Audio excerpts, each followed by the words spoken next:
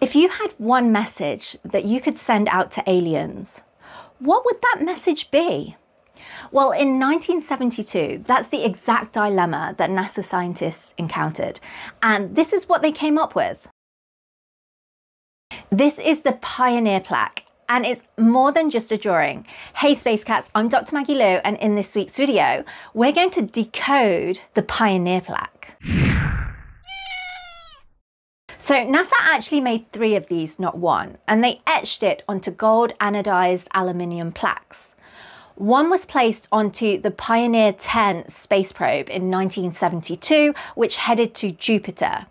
And it was actually the first of five artificial objects to achieve the escape velocity needed to leave our solar system. We lost contact with it in 2003, so 31 years later. And by this time, it was about 12 billion kilometers from Earth. So for reference, the next stellar system, Alpha Centauri, is four light years away or 40 trillion kilometers away. So we didn't break much distance at all.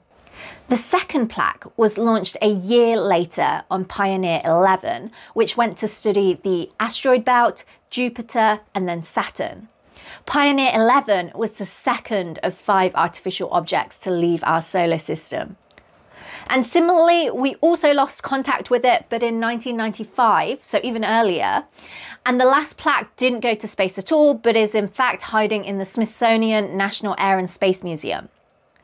The idea is that hopefully this galactic postcard will one day get intercepted by intelligent extraterrestrial life, be it a million or even billions of years in the future. And at least, at the very least, they will know that we existed. It is humanity's lasting legacy.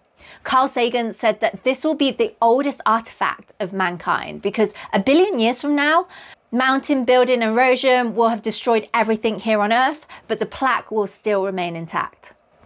So, what exactly do we see? Well, in the top left here, we have two circles and they're connected by a line with a dash beneath it.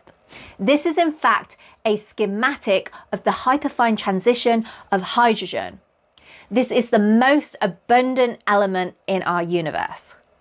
Now, the circles represent two spin states of the electron and proton in a neutral hydrogen. When the electron flips its spin, it emits radiation with a unique wavelength of 21 centimeters.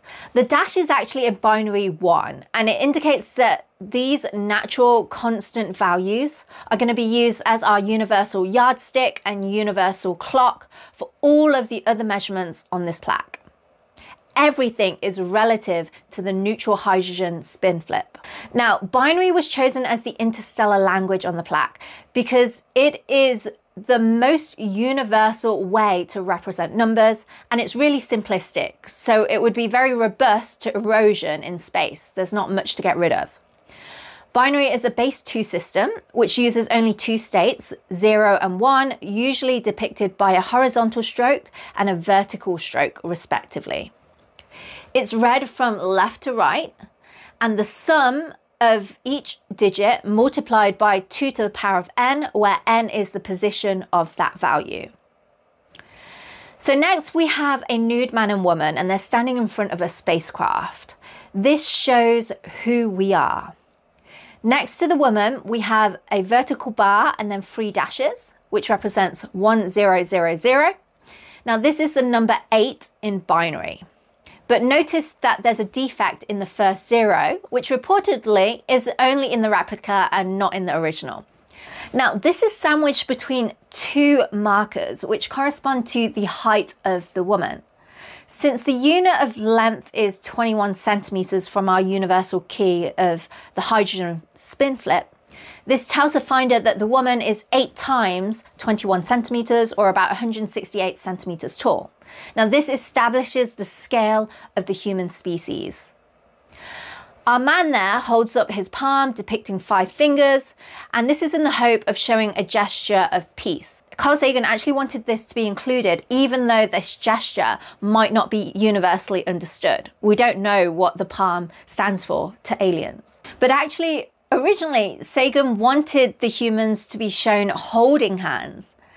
But then later he realized that this might have been misinterpreted as a single creature rather than two, so he decided against it. The spacecraft behind them is, of course, the Pioneer spacecraft, and of course, it's built to the same scale too. And just to the left of the 1000 mark marks the center of our galaxy, the Milky Way. Now, this forms part of the pulsar map, which is a radial pattern with 15 lines emanating from the origin. The 14 other lines correspond to 14 pulsars identified by Frank Drake, the same Drake that came up with the Drake equation where these pulsars, these rapidly rotating neutron stars that emit regular radio pulses, are the shortest periods of rotation and the brightest luminosities to make them the easiest to identify, even after very long stretches of time. And the length of each line shows the distance of that pulsar from our sun relative to the distance to the center of our galaxy. Beneath each pulsar line, there's this long binary number, and this corresponds to a pulsar's pulse period or frequency. But remember that this is all in units of hydrogen time, so we need to normalize for that. Now, this map is in 2D, so there is a tick mark on each line that gives the z coordinate relative to the galactic plane. And this is also used to determine the distance from the galactic center for each pulsar. The pulsar map is designed to be a set of triangulation coordinates so that an alien intelligence can locate our solar system using the angle above or below the galactic plane. But it actually tells us a lot more than this.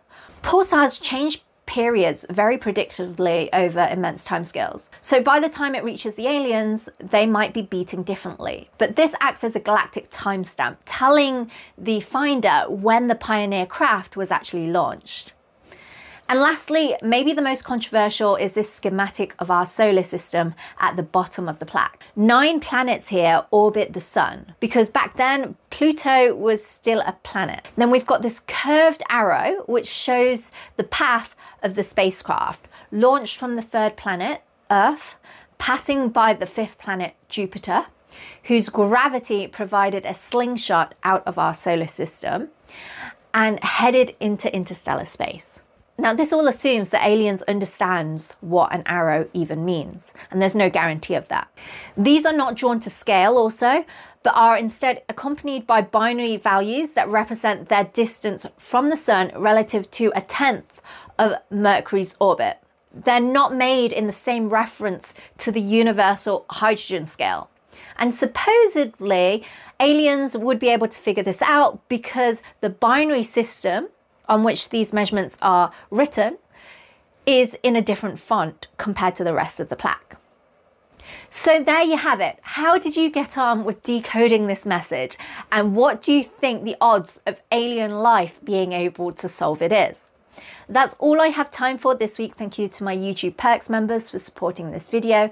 If you enjoyed it, please don't forget to leave me a like, share and subscribe. Hey, to the stars, faster than light, soaring past Mars.